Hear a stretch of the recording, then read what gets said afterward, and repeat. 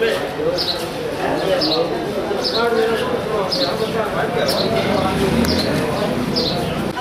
you.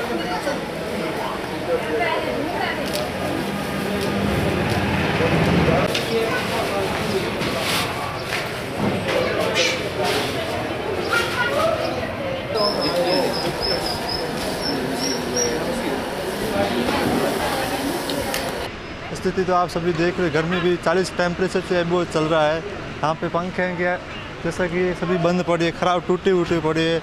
लगभग मुझे एक महीना हुआ है कंटिन्यू में आ रहा हूँ तो एक महीने से पंखे बंद पड़ी है तो बहुत सारी यात्री है तो उनको बहुत सारी परेशानी होती है यहाँ पे। तो बाकी वाली सुविधा है, वो सभी बंद पड़ी है। पानी आनी यहाँ की जो थी टंकियाँ की वो भी ख़राब पड़ी है। पीने के लिए पानी नहीं है यहाँ पे। ये पंखे तो एक महीने से बंद पड़े हैं और यात्री परेशान हो रहे हैं।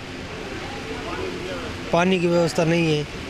पानी आ रहा है, बिल्कुल कम। और प्याऊ कचरे से भरी हुई पड़ी है।